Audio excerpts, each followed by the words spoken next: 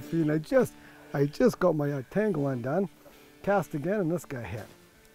And I don't, and I moved the tripod because Kathy scolded me for having the tripod there. Oh, this one's a good one too. Man, Look, yeah, that looks just- good, Don. have we ever found them or what? We're dialed into the pattern.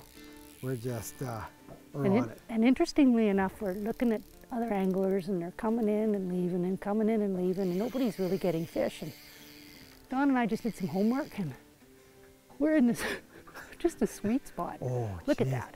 Look at this guy. Move that rod out of the way. I'll hold him up for everybody.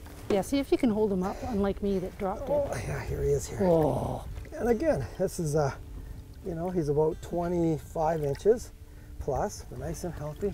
Look at that. Isn't that a gorgeous fish? Keep your head in the water and let him go.